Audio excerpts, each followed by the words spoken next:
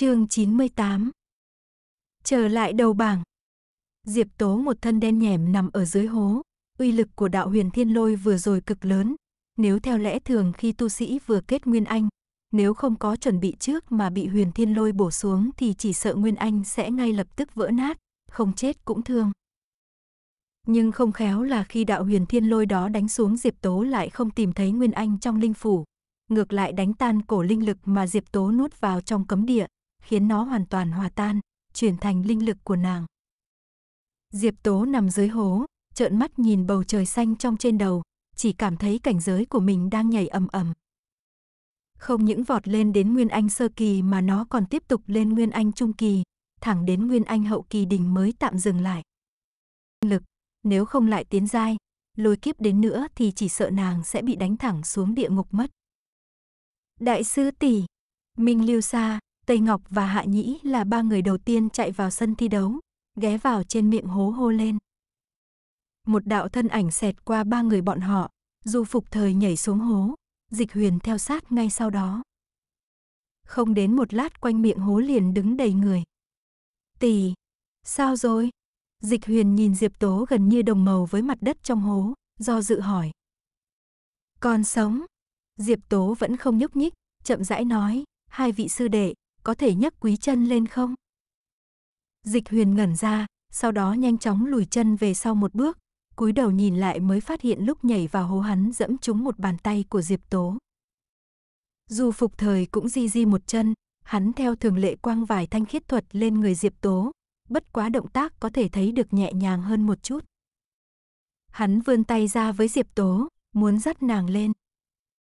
Diệp Tố nắm lấy tay hắn nương lực kéo đứng lên, tóc của nàng bị thiên lôi đánh cháy hết cả, bên tai vẫn còn ẩn ẩn nghe thấy tiếng sấm ầm vang. Hố sâu chừng 10 mét, khắp huyết kiếm trở dư phục thời mà Diệp Tố bay lên ra ngoài, dịch huyền cũng theo ở phía sau. Diệp Tố vừa ra tới liền thành tiêu điểm của cả sân, tầm mắt của năm đại tông chủ đều dừng trên người nàng. Thực lực của các tông chủ cao hơn Diệp Tố rất nhiều nên dễ như trở bàn tay cảm nhận được cảnh giới lúc này của nàng, Nguyên Anh hậu kỳ đỉnh. Đây là một lần tăng lên 6 cấp. Người vừa mới tăng 3 giai, đi về nghỉ ngơi đi. Thật lâu sau, tông chủ Ngô Kiếm phái Chu Kỳ nói với Diệp Tố. Ba giai. Lão nhân tóc nâu nhìn về phía Chu Kỳ, nếu ta nhớ không lầm thì trước đó nàng ta mới chỉ là kim đan sơ kỳ. Đệ tử dự thi này ông nhớ rõ, là người lúc bắt đầu tới trễ nhất. Khí thế kiêu ngạo lúc đó khiến ông còn tưởng là đệ tử thiên tài nào, kết quả nhìn lại thì chỉ là một kim đan sơ kỳ nhãi nhép mà thôi. Chu Kỳ gật đầu, Diệp Tố lúc ở ngô kiếm phái kết anh không thành công khiến cảnh giới bị thụt lùi lại về kim đan sơ kỳ. Xem ra một chuyến vào hỗn độn kính lần này đã cho nàng thu hoạch pha phong. Đối với việc tông chủ nhà mình nói dối không chớp mắt, tất cả đệ tử ngô kiếm phái đều cục mi rũ mắt, phảng phất không nghe thấy gì hết. Lão nhân tóc nâu nhìn chằm chằm Diệp Tố hồi lâu, nhớ lại bộ dáng khi nàng chạy đến sân thi đấu, rốt cuộc cũng tin tưởng.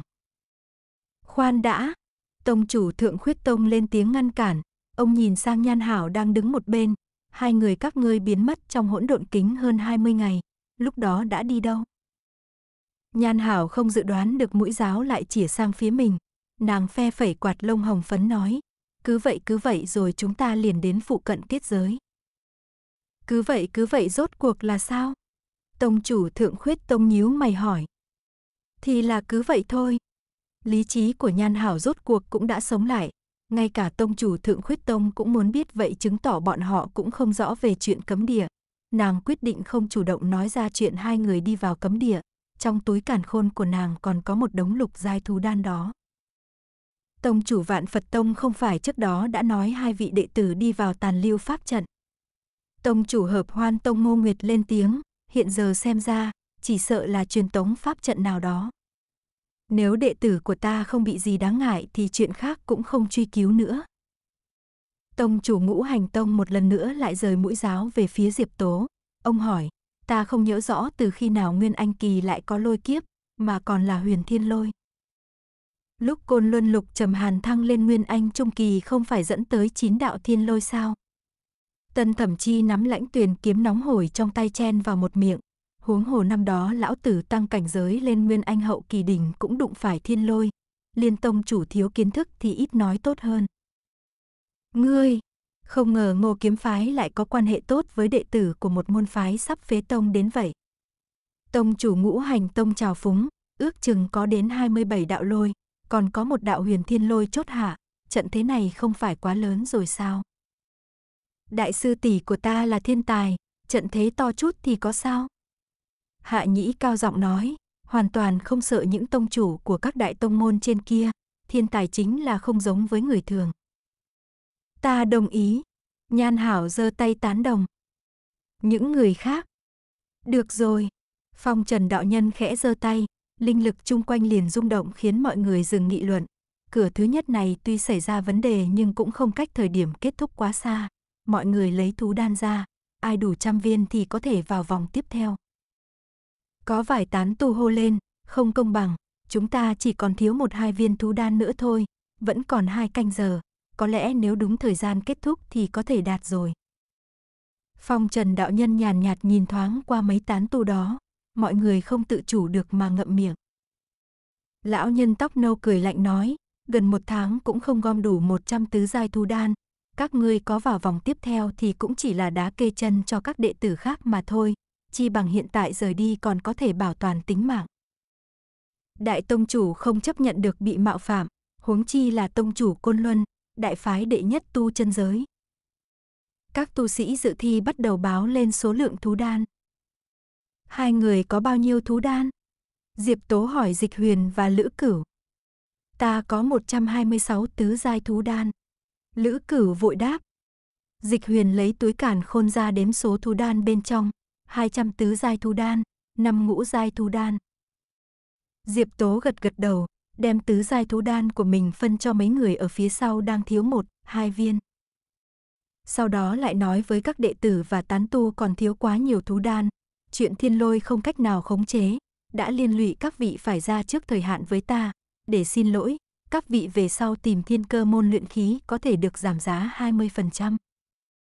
Mấy tán tu ở Đông Phương lập tức chắp tay cảm tạ nhận lấy, hảo cảm đối với Diệp Tố tăng cao, bọn họ vốn dĩ có ra lúc đúng giờ cũng không có cơ hội vào vòng sau, vậy mà còn được ưu đãi giảm giá 20%. Nhưng những người khác lại không cho là như vậy, có tán tu cừu khẩy, ai sẽ đến thiên cơ môn các ngươi đặt hàng luyện khí chứ? Các ngươi có lên được bách thanh bảng sao?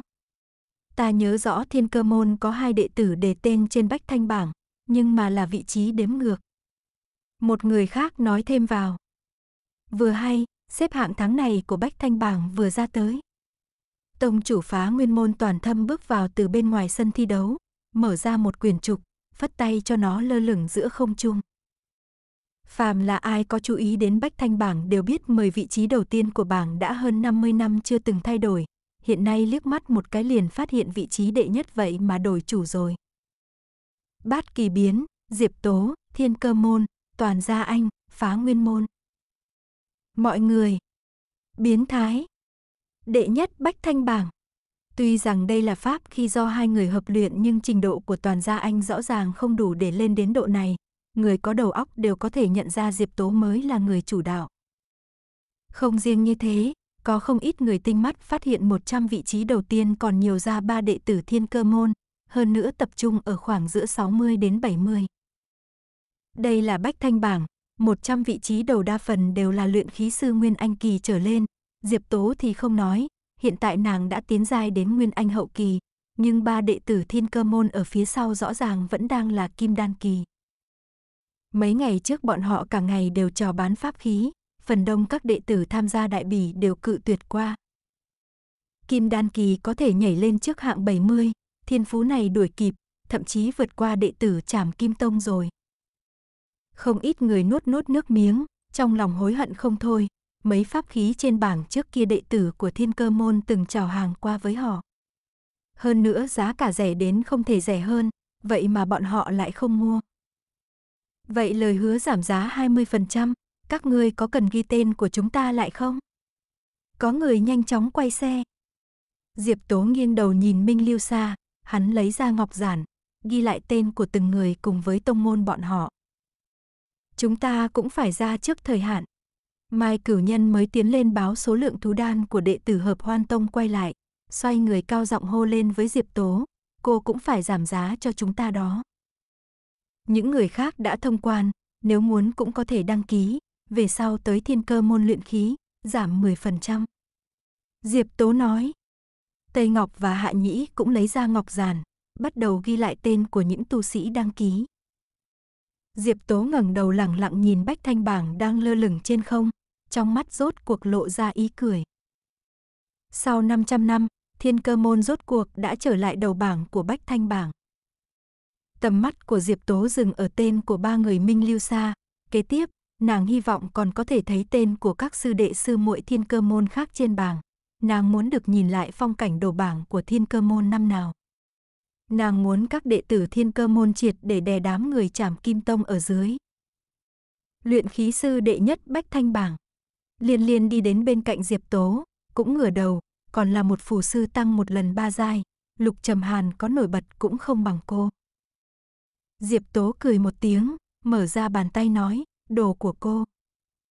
Liên liên cầm lấy lực chắn lôi đã bị đốt trọi mất một nửa, còn tưởng rằng bị thiên lôi đánh nát rồi.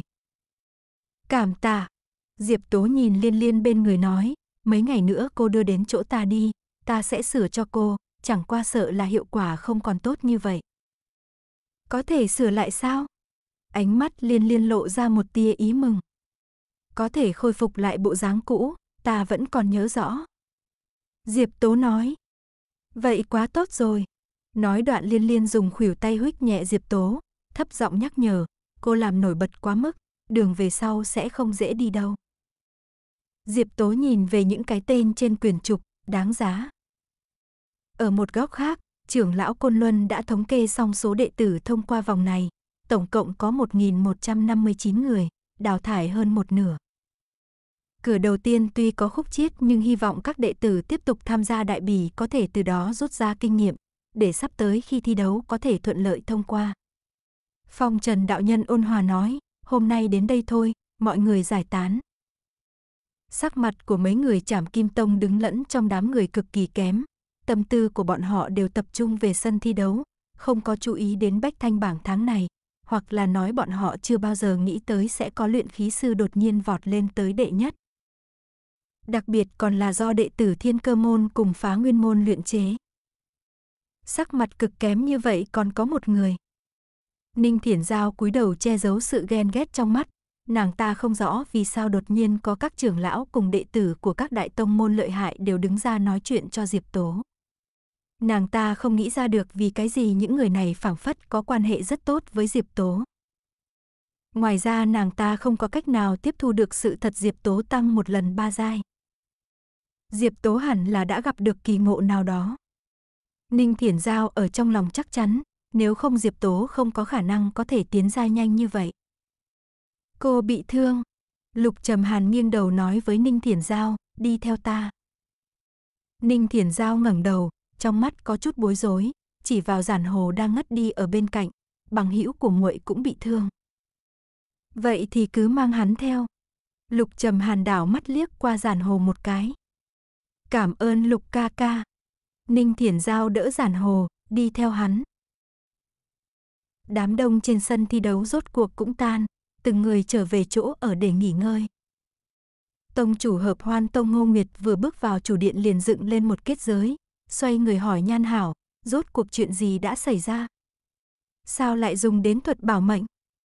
Mệnh đèn không có việc gì nhưng khi Nhan Hảo vừa ra tới bà liền phát hiện có chỗ không đúng chương 99 Dưỡng phát đan Sau khi trầm mặc một lúc, Nhan Hảo bỗng nhiên tuôn ra một câu, tụi con đi cấm địa. Mấy đứa đi. Ngô Nguyệt nói được một nửa chợt phản ứng lại, cấm địa. Nhan Hảo gật đầu nghiêm túc nói, cấm địa.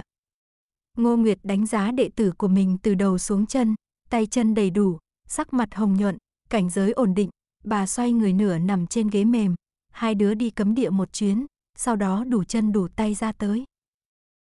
Dạ thật đó sư phụ. Nhan Hảo giơ tay lên nói, tụi con còn dạo một vòng trong cấm địa. Ngô Nguyệt nghe lời này thì bị tức đến bật cười, trước kia có nhiều chấp sự hóa thần kỳ được phái vào đó như vậy mà kết cục đều chết hết, hai đứa một đứa Nguyên Anh một đứa Kim Đan, đi vào, còn dạo một vòng nữa hả? Đại khái là Ngô Nguyệt cảm thấy phản ứng của bản thân có chút thái quá. Bà dừng một chút lại hạ giọng nói, có thể là pháp trận đã truyền tống hai đứa đến nơi nào đó thôi. Nhan Hảo cúi đầu mở túi càn khôn, lấy ra một đống thú đan lục dai, Sư phụ, người xem. Ngô Nguyệt nhìn đống thú đan đủ màu trong tay đồ đệ. Nhan Hảo giơ túi càn khôn lên, trong này còn một đống nữa. Ngô Nguyệt. Trong nháy mắt đó, tông chủ hợp hoan tông cho rằng mình bị hoa mắt rồi, nếu không sao bà lại nhìn thấy đồ đệ mình cầm một đống lục giai thú đan trong tay. Hai đứa ở trong cấm địa giết nhiều lục giai yêu thú như vậy ư? Ngô Nguyệt hoảng hốt hỏi. Dạ không, tụi con câu lên. Nhan Hảo lắc đầu. Ngô Nguyệt, mi nói câu nào ta cũng nghe không hiểu hết. Vì thế Nhan Hảo kể lại từ đầu tới đuôi những chuyện nàng cùng Diệp Tố đã trải qua trong cấm địa.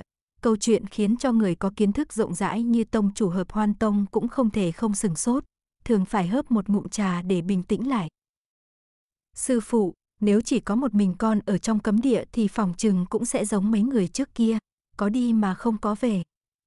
Nhan Hảo cảm thấy thật may mắn, nếu nàng không đi cùng Diệp Tố thì bản thân vẫn sẽ đi con đường đó, nhất định cũng sẽ phát hiện ra pháp trận có phủ ảo thuật trên thân cây. Với cảnh giới nguyên anh của nàng, ở bên trong sợ chưa đến ngày thứ hai thì đã thân vẫn đạo tiêu. Khó trách, Ngô Nguyệt rốt cuộc hiểu rõ, nhiều tu sĩ hóa thần kỳ được phái đi như vậy mà tất cả đều chết ở bên trong. Nhiều lục giai yêu thú như vậy, hơn nữa còn có kiến xanh, hóa thần kỳ tu sĩ lợi hại thế nào thì cũng chỉ có một kết cục. Không biết ai đã thiết hạ pháp trận đó, thế mà không có người nào phát hiện ra. Nhan Hảo khó hiểu nói. Con và cửu nhân tính đến hiện tại là hai đệ tử có thiên phú nhất của nhóm đệ tử hợp hoan tông tham gia đại bỉ. Ngô Nguyệt nhìn về phía nàng, ảo thuật đó hẳn không phải là thuật tu bình thường có thể phát hiện. Vậy Diệp Tố đã đi vào bằng cách nào? Nhan Hảo chết lặng hỏi. Không lẽ nàng ấy còn biết giải ảo thuật?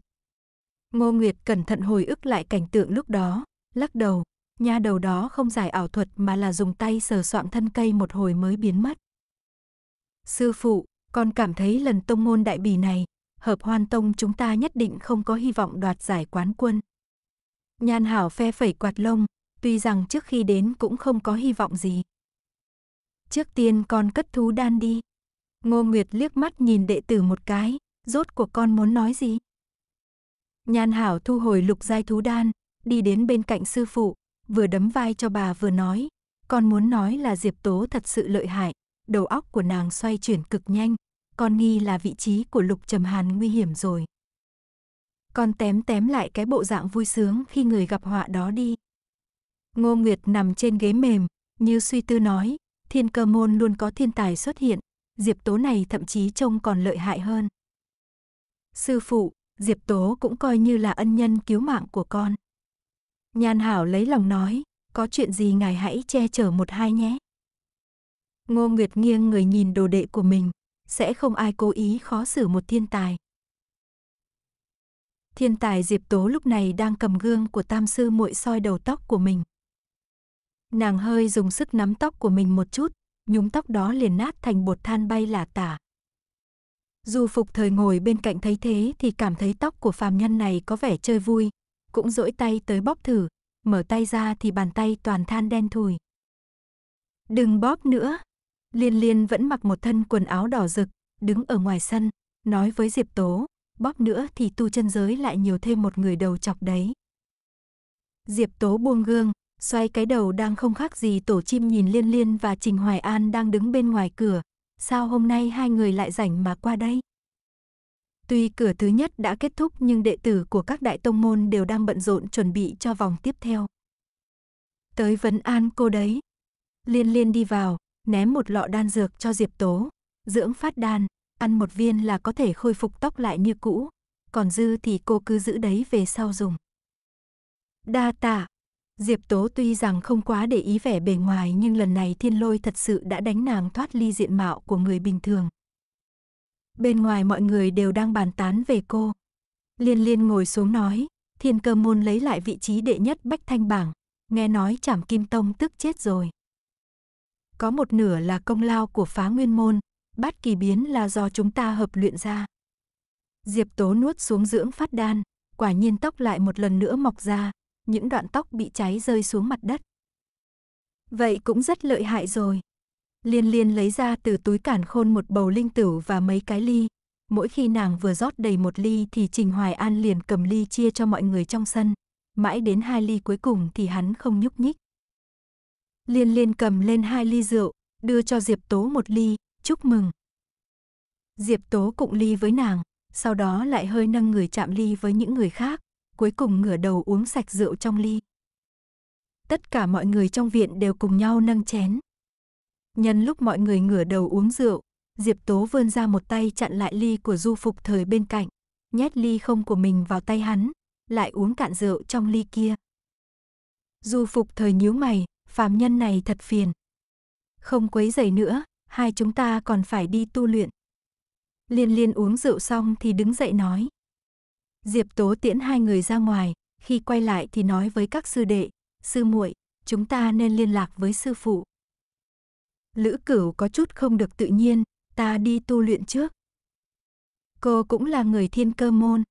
Diệp Tố nói, sư phụ còn chưa gặp qua cô, huống hồ về sau cô cùng dịch sư đệ còn phải làm người khai sáng kiếm tu cho thiên cơ môn mà. Lữ cửu do dự một hồi rốt cuộc đáp, vậy ta lưu lại.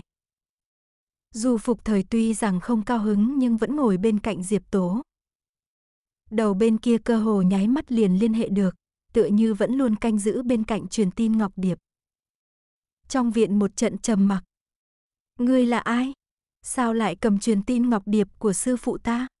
Hạ nhĩ nhìn chằm chằm người xuất hiện bên kia, vội la lên, sư phụ ta đâu? Đối diện là một thanh niên xa lạ, đôi mắt đào hoa liễm diễm im lặng nhìn thôi cũng đã thấy cực đa tình. Sư, phụ, lại, thu, đồ, đệ, mới, Minh Lưu Sa chậm gì gì nói. Tây Ngọc vuốt vuốt cây châm trên đầu, hoang mang hỏi, sư phụ có phải trước kia đã từng ở hợp hoan tông không? Đệ tử của người không có ai xấu cả.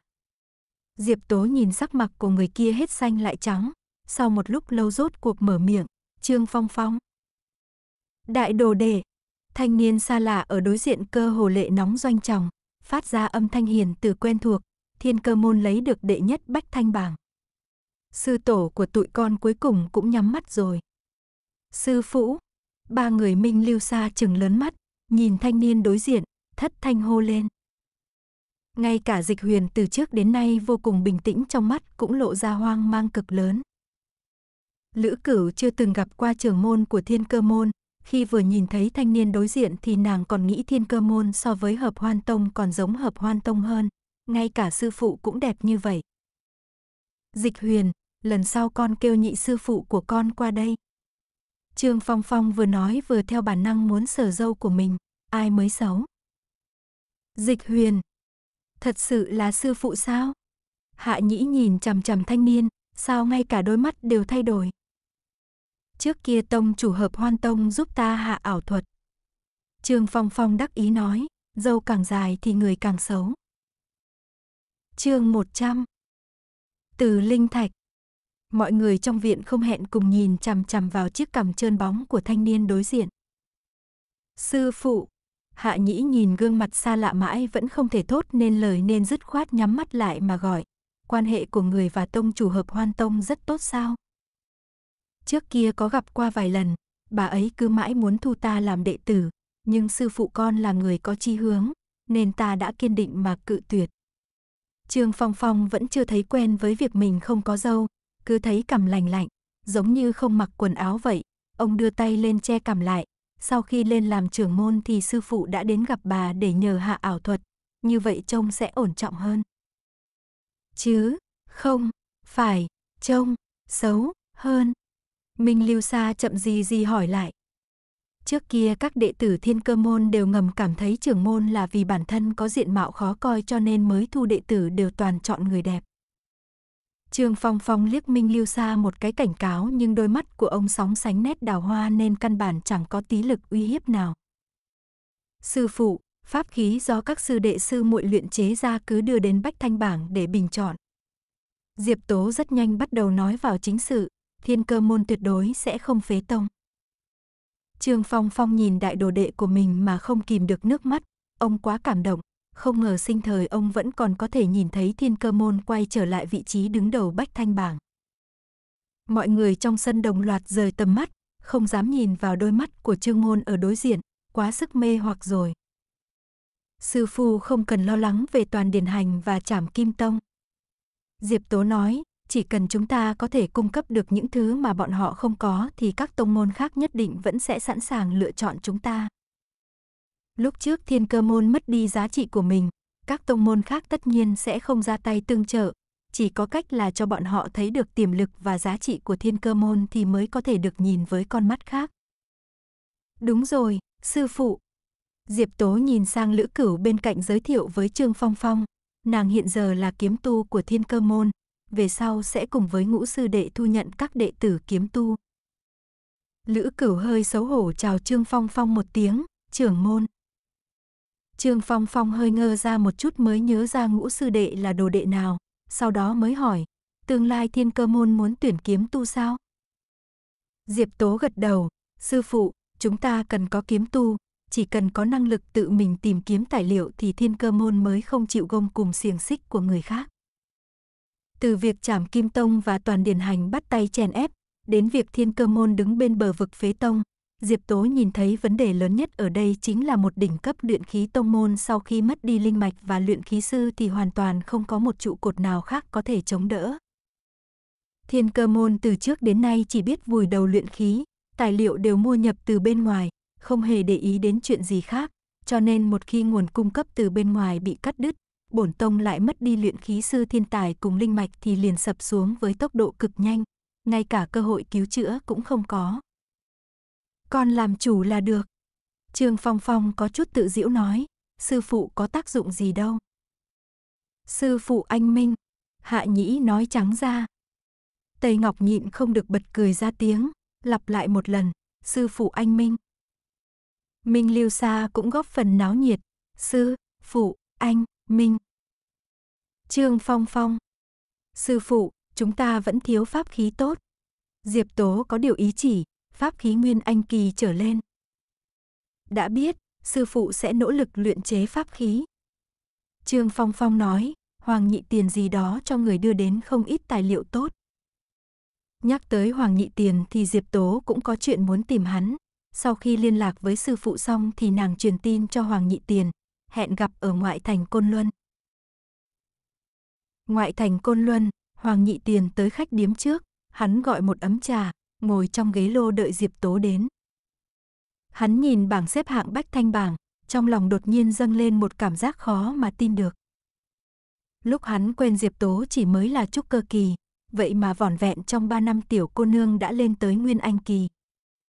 Đệ nhất bách thanh bảng, danh xưng này đã bị tông chủ tả thịnh nguyên của trảm kim tông chiếm cứ suốt 50 năm, chưa từng có người vượt qua kiện pháp khí giúp cho tả thị nguyên thành danh không riêng đã đạt đến trình độ tối cao của luyện khí sư cảnh giới Nguyên Anh, mà còn từng được cả thiên đạo chúc nguyện. Bên ngoài truyền đến tiếng gõ cửa, đánh gãy suy nghĩ của Hoàng Nhị Tiền, hắn thu lại bảng xếp hạng, nhanh chóng đứng dậy đi mở cửa, nhìn thấy bên ngoài chính là Diệp Tố, ngoài ra còn có vị tiểu sư đệ của Thiên Cơ môn. Ta tìm ngươi là vì muốn nhờ ngươi xử lý giúp ta một ít đồ vật. Diệp Tố vừa vào cửa liền nói. Hoàng nhị tiền đóng cửa lại, trà sát tay nói, là những thú đan tứ giai, ngũ giai đó sao? Diệp Tố kéo một cái ghế ra, thuận tay cũng giúp kéo ra một cái ghế cho tiểu sư đệ, sau đó mới ngồi xuống nói, không phải. Hoàng nhị tiền ngạc nhiên, mà nghĩ lại thì có thể là Diệp Tố muốn giữ những thú đan đó để dùng. Ở đây có 10 viên lục giai thú đan, ngươi để ở Văn Đông tài liệu hành bán đi. Diệp Tố lấy ra một nhóm thú đan đặt lên bàn, bán ra đứt quãng thôi, thu hút sự chú ý, đồng thời thả ra một tin tức, bát kỳ biến sẽ được bán đấu giá sau khi tông môn đại bỉ kết thúc. Hoàng nhị tiền trợn mắt há mồm nhìn chằm chằm thú đan trên bàn, lục giai. Hắn cũng đã xem qua ngày thi đấu trong hỗn độn kính, trong tay của các đệ tử thiên cơ môn đều là tứ giai và ngũ giai thú đan, không hề thấy có lục giai huống chi bên trong không phải cũng chỉ xuất hiện một con lục giai yêu thú thôi sao? Lục giai yêu thú là Văn Đông tài liệu hành tự mình có được. Diệp Tố đẩy 10 viên thú đan về phía trước, dương mắt nhìn Hoàng Nhị Tiền, không có quan hệ gì với chúng ta. Hoàng Nhị Tiền ngậm miệng lại, cẩn thận thu 10 viên thú đan vào trong túi càn khôn, ngay sau đó nghĩ đến một chuyện khác, phá nguyên môn đồng ý bán đấu giá bát kỳ biến ư. Trước khi luyện chế đã nói tốt, giao cho ta xử lý. Diệp Tố nói, sau khi bán đấu giá xong giao 4 phần linh thạch cho toàn gia anh là được. Tốt, trong lòng Hoàng Nhị Tiền vui mừng không thôi, bán đấu giá pháp khí vừa mới đoạt vị trí đệ nhất bách thanh bảng, không cần nghĩ cũng biết nhất định sẽ oanh động tu chân giới, toàn điển hành muốn ngăn cản cũng vô dụng, huống chi bát kỳ biến còn có một nửa công lao của phá nguyên môn. Chờ sau khi Hoàng Nhị Tiền rời đi, Diệp Tố quay đầu nhìn Du Phục Thời bên cạnh, lấy ra từ túi cản khôn một cái dương lớn, đẩy qua, đây là cho đệ. Du Phục Thời duỗi tay muốn mở cái dương ra xem thì lại bị Diệp Tố đè nắp dương cản lại, hắn ngẩng đầu nhìn phàm nhân này, không rõ nàng có ý gì. Tốn không ít sức lực mới làm ra được đó. Diệp Tố nhướng mày nhìn tiểu sư đệ vẫn luôn bày vẻ mặt không hứng thú, kêu tiếng đại sư tỷ xem. Du Phục Thời liếc liếc cái dương, rất tò mò phàm nhân này đựng cái gì ở bên trong, nhưng lại không muốn nghe theo nàng, cố tình chỉ gọi, Diệp Tố. Thôi được rồi, Diệp Tố cũng không ép, lấy tay ra, mở ra xem thử đi. Dù phục thời mở dương ra thì liền thấy nửa dương đầy ắp lục giai thu đan, khó có lúc hắn cũng ngẩn ra. Văn Đông tài liệu hành bán ra quá nhiều lục giai thú đan sẽ mang đến sự chú ý không cần thiết. Diệp Tố dựa ra sau ghế nói, và lại đệ cũng cần thú đan.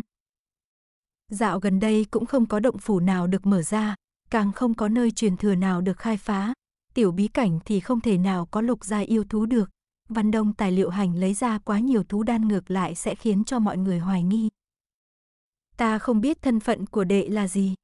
Diệp Tố chỉ chỉ vào thú đan trong dương, vừa lúc có được tới tay, đệ cần dùng thì cứ dùng đi. Thú đan cũng là một phương thức tu luyện của tu sĩ, nhưng cần dùng linh lực luyện hóa.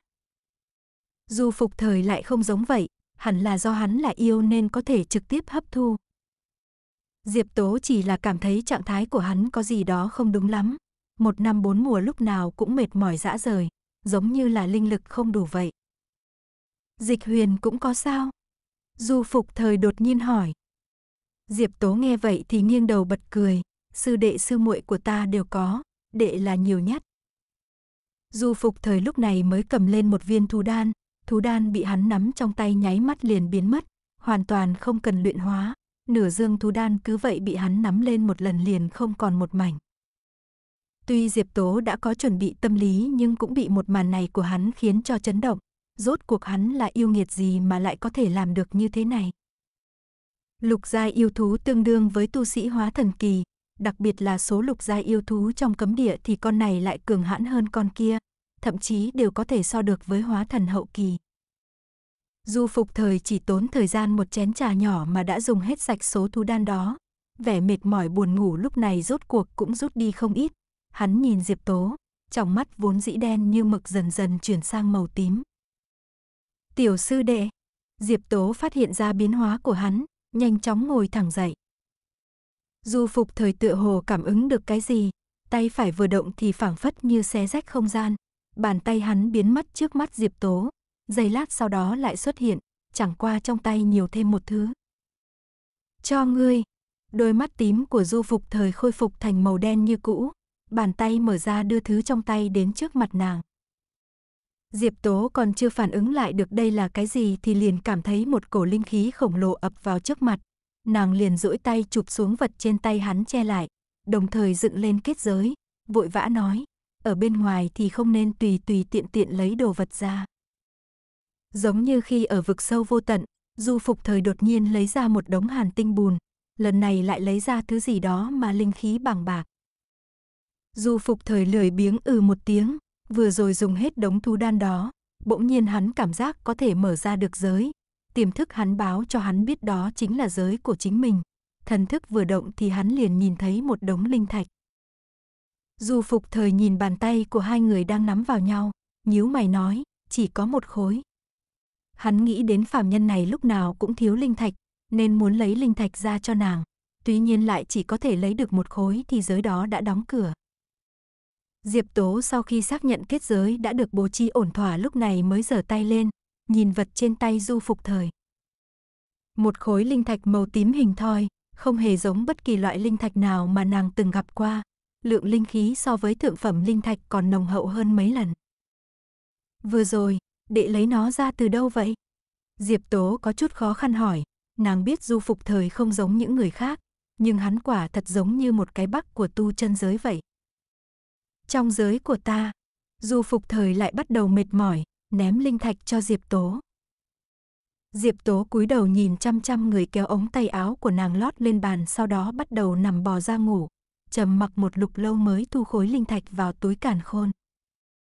Giới Chỉ có đại năng mới có thể sáng lập ra giới của bản thân, dù phục thời bất quá chỉ mới là nguyên anh sơ kỳ đỉnh, hay hắn thật sự là một đại yêu, chẳng qua đang che giấu cảnh giới.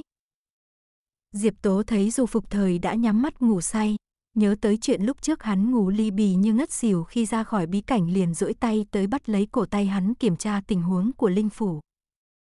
Mỗi lần hắn mở ra giới là sẽ hao hết linh lực. Đại sư tỷ không phải nói chỉ đi một ngày thôi sao? Tây Ngọc ngồi ở trong viện soi gương, hỏi Minh Lưu Sa ở phía sau. Minh Lưu Sa vuốt vuốt khối xương thú, tài liệu mà Hoàng Nhị Tiền mới đưa tới, chậm gì gì đáp, có, nói. Đã sang ngày thứ hai rồi. Tây Ngọc buông gương đặt xuống bàn vang lên một tiếng bang, tỷ ấy vẫn còn chưa về. Diệp Tố không có ở đây sao? Toàn gia anh đứng ở ngoài cửa viện hỏi. Toàn đạo hữu Tây Ngọc đón hắn tiến vào, huynh rốt cuộc tỉnh rồi. Toàn gia anh rất vui vẻ gật đầu, ta đã thấy xếp hạng của Bách Thanh Bảng, ít nhiều nhờ vào Diệp Tố. Đã có nhiều lúc hắn cảm thấy bản thân không kiên trì nổi nữa. Đại sư tỷ dẫn theo tiểu sư đệ đi ngoại thành. Tây Ngọc nói, đến bây giờ vẫn còn chưa về. Minh Lưu Sa quay đầu lại hỏi toàn gia anh, huynh, tiến, giai. Đúng vậy, Nguyên Anh Trung Kỳ. Toàn gia anh cũng không nghĩ tới sẽ tăng liền hai giai, vốn dĩ hắn chỉ nghĩ hợp luyện pháp khí có lẽ sẽ giúp hắn tìm được cơ duyên đột phá. Sau khi luyện chế xong bát kỳ biến, ta ngộ đạo một lần, nên mãi đến bây giờ mới tỉnh. Vậy đại sư tỷ sao lại không ngộ đạo? Hạ nhĩ bước ra từ trong phòng, thập phần khó hiểu, đại sư tỷ của hắn lợi hại như vậy, nên ngộ đạo mới đúng chứ. Bởi vì bát kỳ biến không cao hơn trình độ của nàng ấy. Toàn gia anh giải thích nên không thể dẫn phát được ngộ đạo, đây là chuyện tốt. Mấy người cùng luyện khí tụng lại với nhau liền không thể dứt được chuyện, nói đến miệng lưỡi đều khô. Toàn gia anh đang nói về vấn đề bọn họ gặp phải khi luyện bát kỳ biến thì đột nhiên ở nơi xa có một đạo thiên lôi đánh xuống, một tiếng ầm thật lớn đột ngột vang lên khiến cho ai nấy đều giật mình. Hướng đó, toàn gia anh chậm rãi đứng lên, là toàn cơ phong. Tông chủ của tứ đại tông môn ở gần đó đều chạy ra xem xét, đập vào mắt là bầu trời của toàn cơ phong ở xa xa đang bị bao trùm bởi tiếng ầm vang và ánh sáng chớp lóe của thiên lôi. Tân thẩm chi ngửa đầu nhìn bầu trời chớp giật đằng xa, xoay người nói với dịch huyền đứng ở phía sau, là côn luân lục trầm hàn, thiên phú của tiểu tử đó cực cao, một năm qua không có động tĩnh gì, ta liền đoán hắn nhất định đang đè ép cảnh giới chưa chịu thăng. Sau khi cửa ải hỗn độn kính kết thúc, tất cả mọi người chỉ say mê thảo luận thiên cơ môn diệp tố, thảo luận bách thanh bảng, côn luân hoàn toàn bị mất đi nổi bật.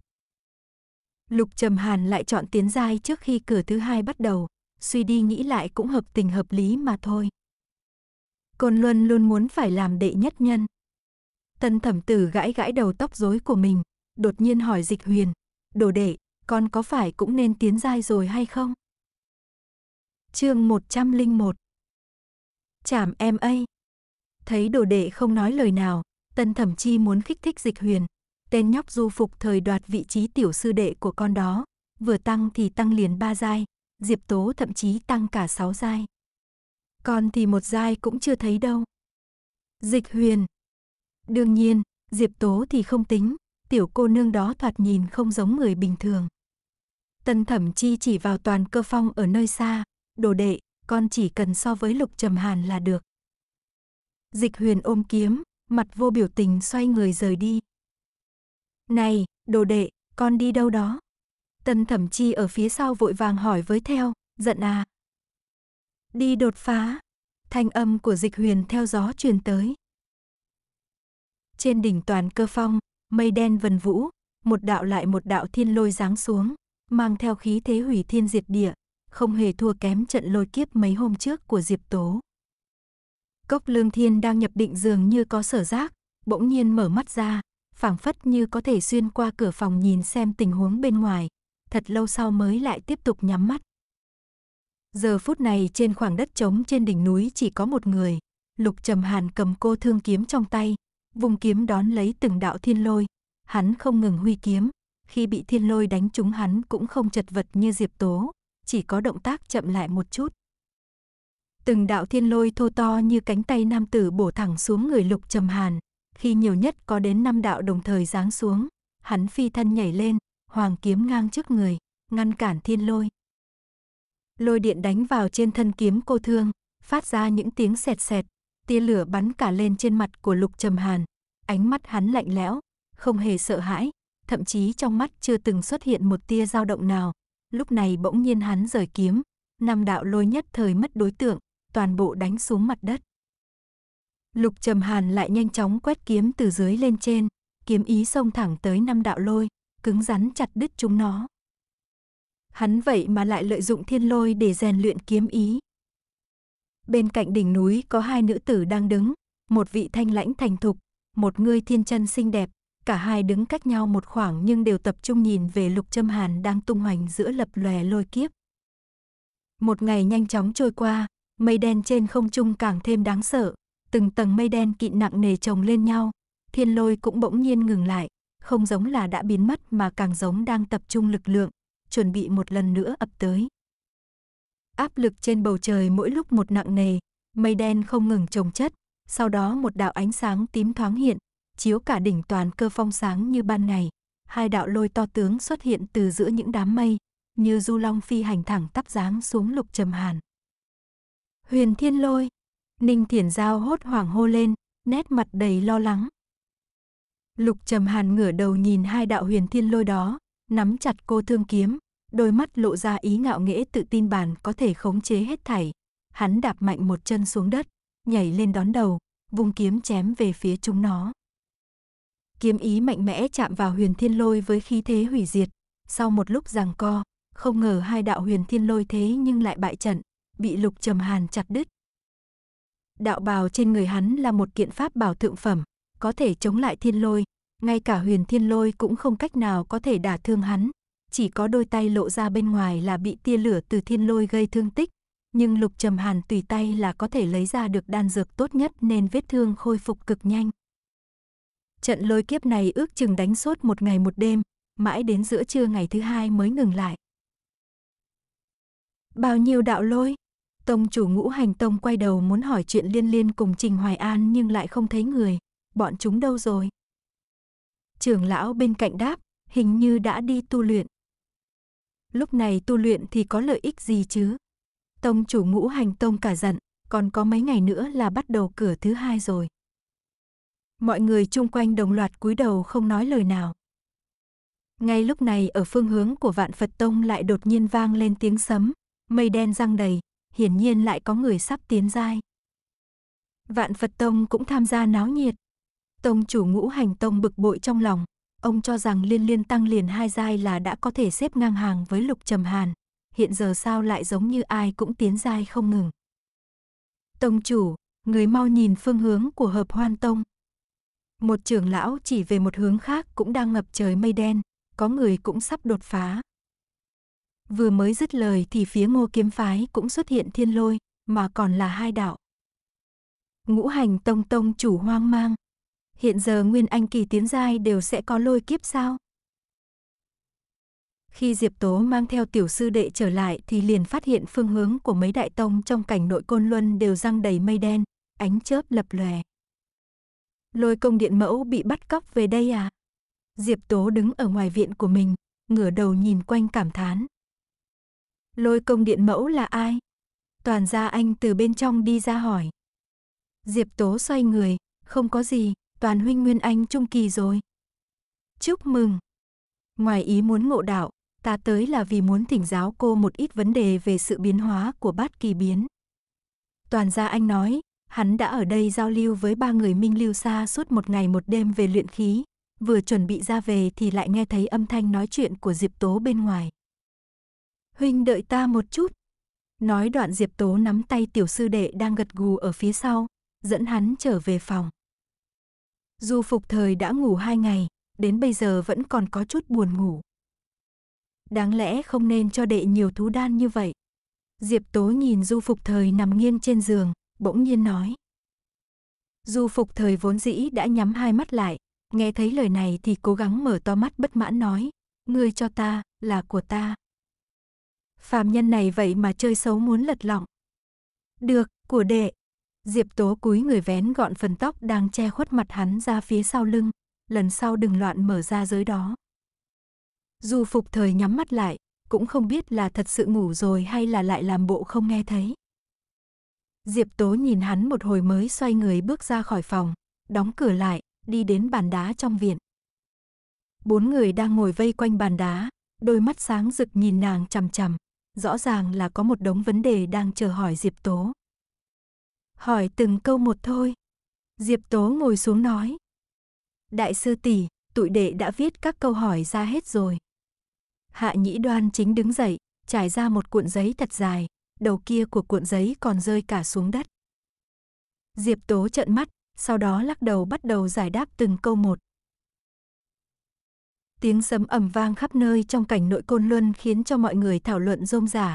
Các đệ tử của các tông môn khác trong lòng nặng trĩu, người của mấy đại tông môn này thật là chặn hết đường sống của mọi người. Làm gì mà cứ tiến giai mãi, không phải nói một tu sĩ mất vài năm, vài chục năm mới tiến giai hay sao? Lúc này mới có bao lâu đâu? Ở một góc nào đó, một nhóm các đệ tử tham gia đại bỉ đang trâu đầu ghé tai. Thế nào? Có tin tức gì không? Không có.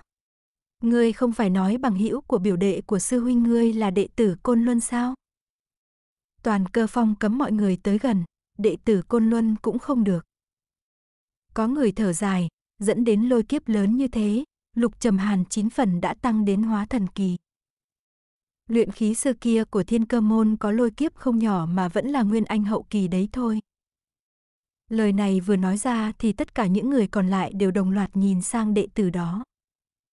Vẫn là nguyên anh hậu kỳ đấy thôi. Ngươi không biết những năm trước phàm ai là nguyên anh hậu kỳ đều tuyệt đối giành được đệ nhất à. Khi những người này ta một câu ngươi một câu, liếc nhau cháy cả mắt thì có một đệ tử khác chạy như bay tới, giọng nói mang theo ý xem kịch vui nồng đậm. Cốc lương thiên của vạn Phật Tông tiến giai lên hóa thần kỳ thất bại rồi. Thật là hóa thần kỳ. Đã thất bại. Người chạy tới nhanh chóng ngồi xổm xuống cùng với mọi người. Hóa thần kỳ làm sao dễ thăng như vậy. Hiện tại cảnh giới của hắn bị lùi về chỉ còn nguyên anh trung kỳ. Cảnh giới của hắn thật chỉ còn như vậy thôi sao? Có người hỏi, nếu thật sự lùi lại thì đúng là thú vị rồi đây. Tình huống bên hợp hoan tông như thế nào? Là ai đang tiến giai? Mai cửu nhân sao? Ngày hôm qua ta còn thấy Mai cửu nhân lắc lư khắp nơi, nhất định không phải hắn. Vậy thì là nhan hảo rồi. Tông môn đại bỉ năm nay cường giả quá nhiều, chúng ta sớm bỏ cuộc đi thôi. Chưa đến cuối cùng, ai biết trước được gì đâu. Lỡ như những thiên tài đó toàn bộ đều xảy ra chuyện thì sao? Thôi đi, tự lo cho bản thân mình trước đi, các ngươi còn chưa biết cửa thứ hai là cái gì đúng không? Cái gì? Chảm ma. Ngày cửa thứ hai của tông môn đại bỉ mở ra, tất cả các đệ tử dự thi sôi nổi chạy đến, tông chủ của các đại tông môn cũng tề tự đông đủ trên sân thi đấu. Mã Tòng Thu nhìn một vòng trung quang, nhịn không được thấp giọng nói, sao ta cảm giác tất cả mọi người đều đã tiến giai. Hắn cùng Chu Vân cực khổ mới lên được Nguyên Anh sơ kỳ, vừa bước ra thì thấy đại sư huynh tăng liền hai giai, đến Nguyên Anh hậu kỳ, mấu chốt nhất là dịch huyền vậy mà cũng đã lên tới Nguyên Anh hậu kỳ.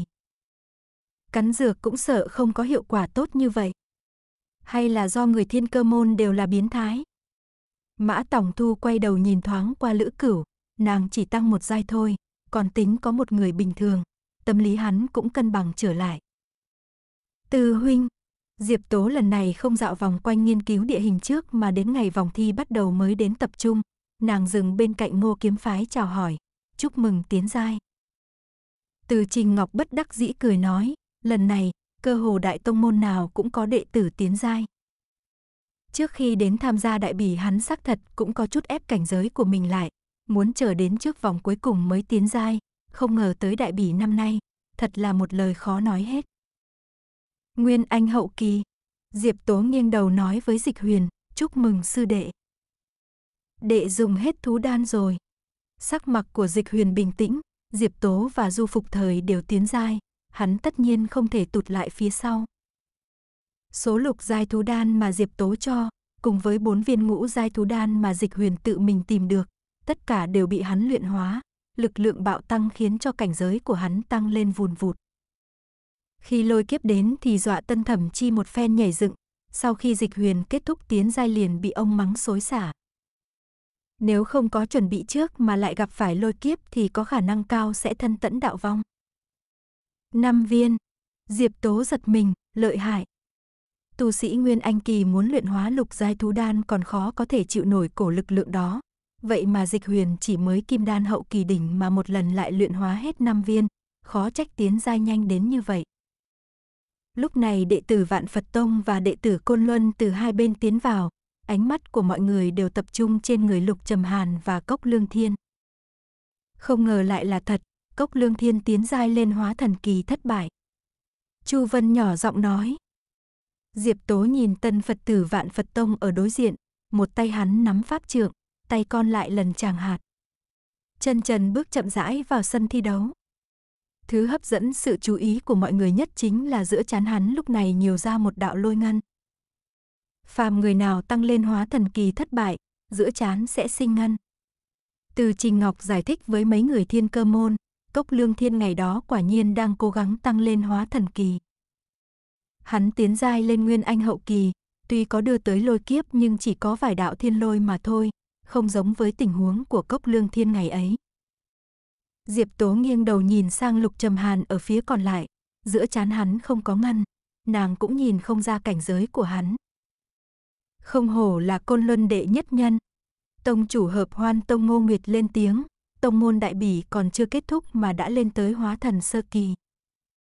Các đại tông chủ mỗi người trong lòng có suy tính khác nhau nhưng trên mặt thì đều chúc mừng côn luân. Một câu này của ngô tông chủ khiến cho toàn thể đệ tử trên sân sôi trào, trong lúc nhất thời tất cả ánh mắt đều đổ dồn về phía lục trầm hàn.